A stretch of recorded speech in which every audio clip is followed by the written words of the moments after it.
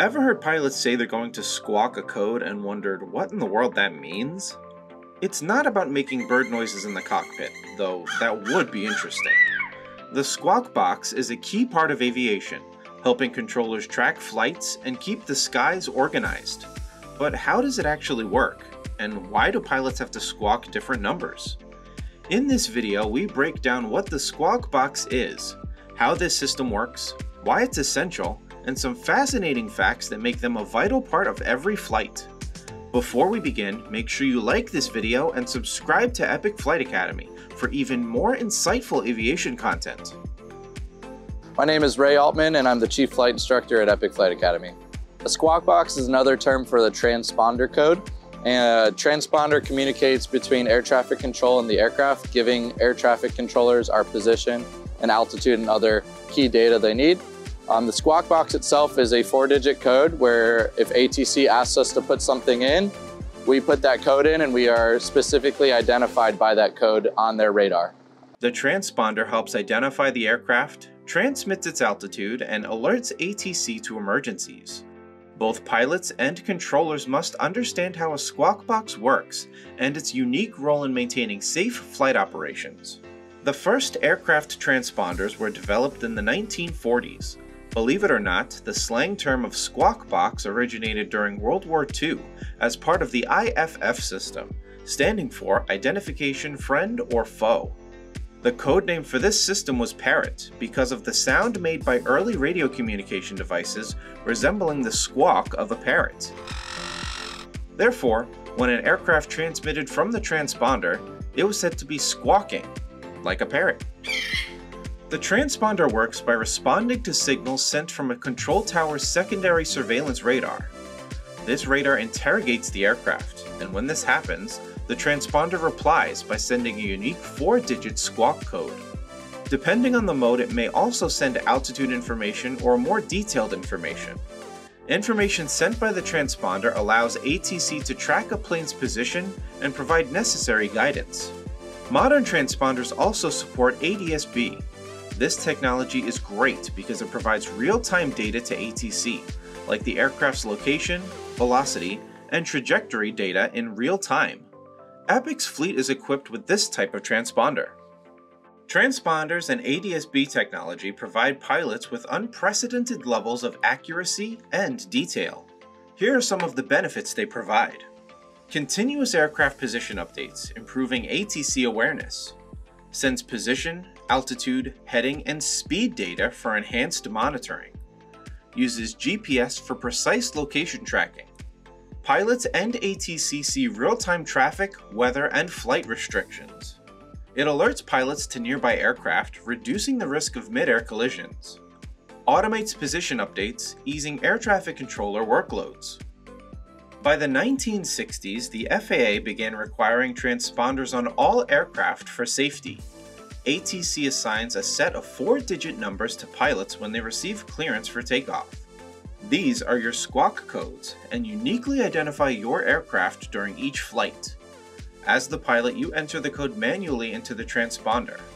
Although these codes are different, there are some squawk codes that convey a universal meaning, and all pilots must know these. 1200 is the default squawk code for any pilot flying under visual flight rules in the United States.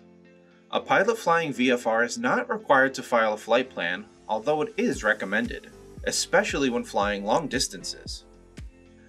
Squawking 7500 indicates a hijacking.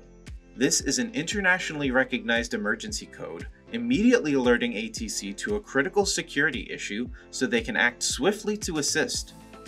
One famous incident where the pilot had to squawk 7500 was Ethiopia Airlines Flight 702 on February 17, 2014. Fortunately, the hijacker surrendered at Geneva International Airport and there were no injuries.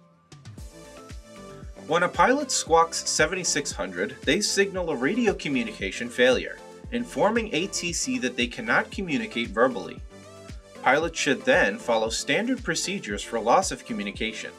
For example, they will likely maintain their altitude, head towards their intended airport, and watch for visual signals from ATC. Squawking 7700 declares a general emergency, which could be anything from engine failure to a medical issue on board. By squawking 7700, the pilot alerts ATC that critical assistance is needed. These universal transponder codes ensure rapid, standardized communication between pilots and controllers. They enhance safety and efficiency in aviation navigation and streamline communication during flight. Transponders operate in different modes, with each providing different levels of critical data to ATC. Mode A allows ATC to see the aircraft on radar and identify it, which allows controllers to warn other aircraft of its presence. On July 30th, 1988, a Cessna 177 was flying over Quiberon Bay, Bretagne, France. The pilot did not turn on the transponder. Proteus Airlines Flight 706, a Beechcraft 1900D in the area, experienced a mid-air collision with the Cessna. All 15 souls were lost on both planes. Mode C is required for flying in types A, B, C, and international airspace. On August 31, 1986, a Piper PA-28 181 Cherokee that only had a Mode A and not a Mode C transponder entered Class B airspace in Los Angeles without clearance. It clipped the tail of Aeromexico Flight 498, a McDonnell Douglas DC-9, killing 64 on board, as well as 3 on the Piper and 15 on the ground. As a result, the FAA mandated that all large commercial jets in U.S. airspace be equipped with a traffic collision avoidance system. They also required light aircraft operating in congested airspace to have Mode C transponders. Mode S provides enhanced aircraft identification and position information to air traffic control. This includes altitude data in precise increments, which is crucial for safe separation between aircraft.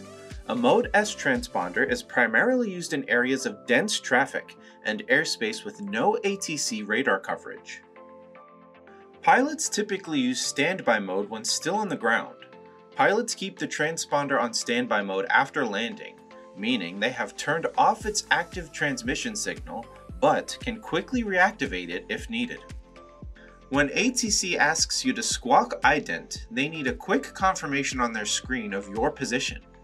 This function of the transponder briefly highlights your aircraft on ATC's radar when you press the ident button.